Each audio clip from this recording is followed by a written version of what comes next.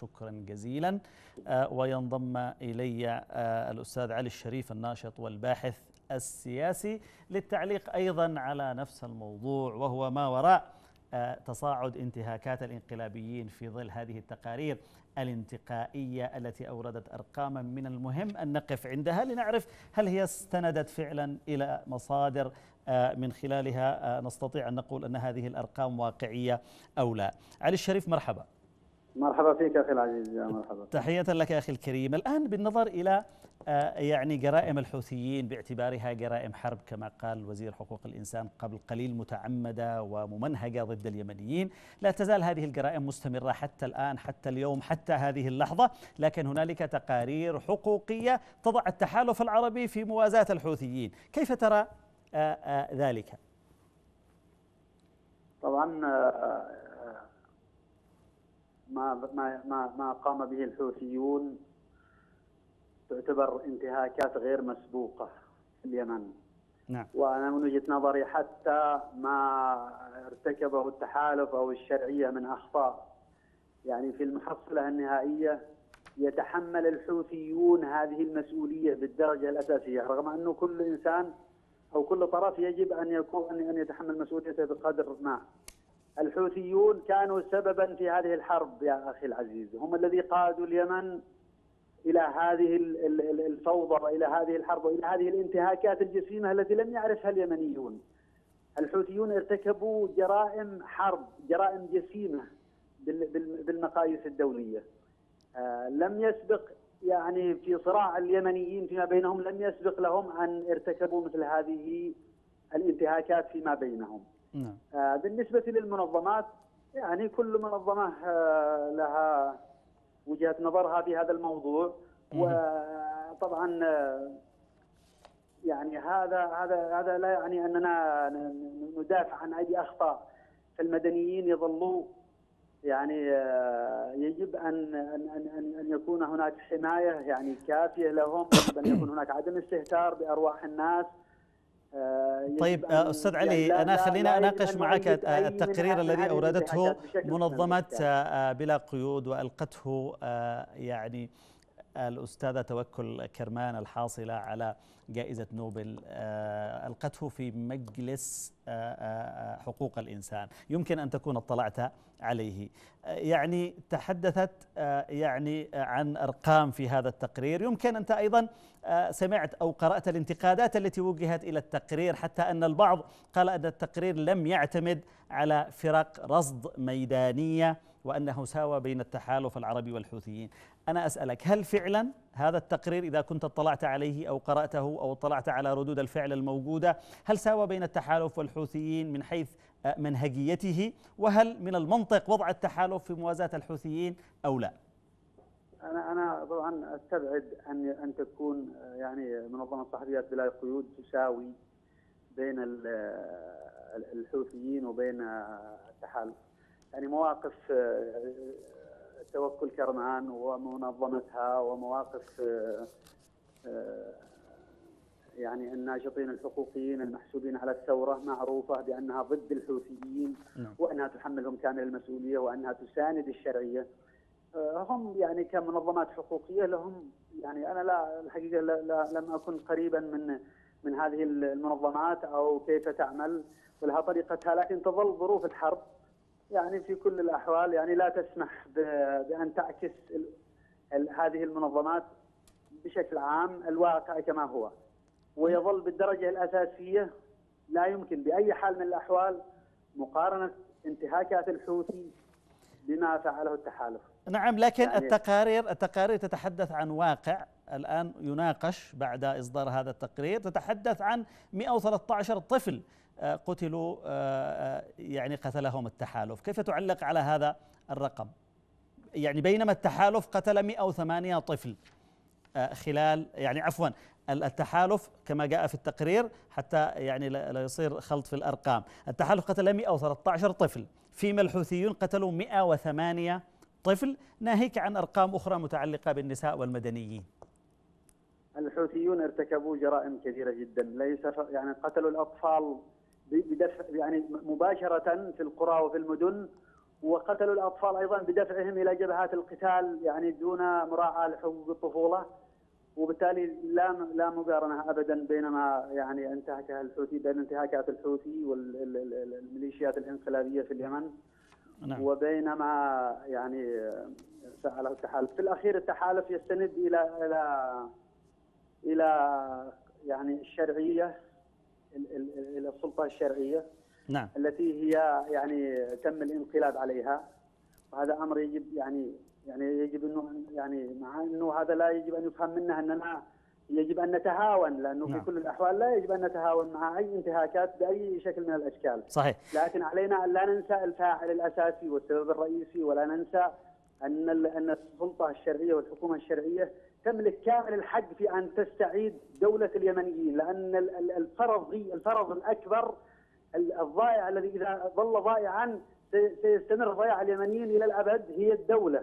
صحيح. أستاذ علي الشريف الناشط والباحث السياسي أنا أشكرك شكرا جزيلا على هذه المداخلة وينضم إلي أيضا الدكتور نجيب غلاب رئيس منتدى الجزيرة العربية للدراسات. السلام عليكم. وعليكم السلام والرحمة والبركة. أخي الكريم شكرا لك على هذه الإطلالة الكريمة ويعني أتمنى أن تكون تابعت الحلقة من البداية. كيف تنظر بشكل عام يعني لاستمرار جرائم الحوثيين الممولة إيرانيا بحق اليمنيين؟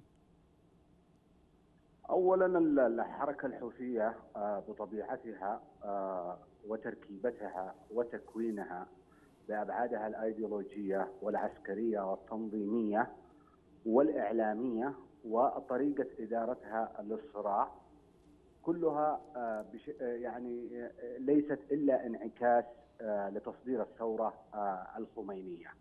وبالتالي هي واقعا ليست إلا معسكرا إيرانيا. وهذا يعني يعبر عن طريقة يعني يعكس صورة الاستعمار الإيراني من خلال الوكلاء المحليين.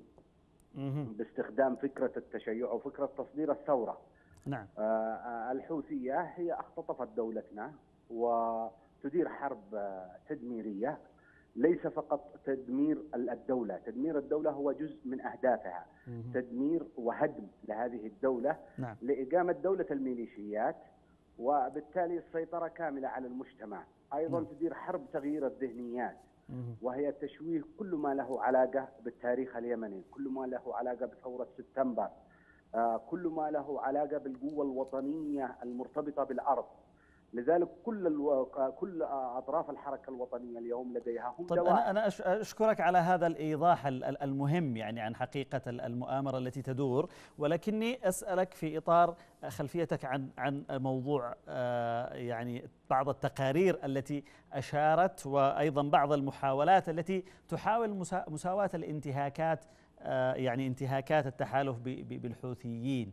كيف تقرأ هذه التقارير وما الذي تريده بالضبط وما هي المصادر التي اعتمدت عليها يعني؟ اولا الشعب اليمني في أغلبه يعني حوالي 90% ومعتدى عليهم من قبل الحركة الحوثية. نحن في حالة دفاع عن النفس. نعم. وهذه حرب. وفي ضحايا يعني لا ليست الحرب ليست نزهة. لابد أن يكون هناك ضحايا. ضحايا وأيضا خسائر كثيرة. لكن بالأخير لدينا هدف أساسي. هو تخفيف هذه هذه الخسائر وأيضا الحد من الضحايا. لكن الحوثية تراهن على مأساة الشعب اليمني وعلى تزايد عدد الضحايا. وتوظف المنظمات الحقوقية باعتبارها أداة من أدوات الحرب لكي تنتصر. هي تحاول أن تعتمد على الضمير الإنساني لكي تستعبدنا.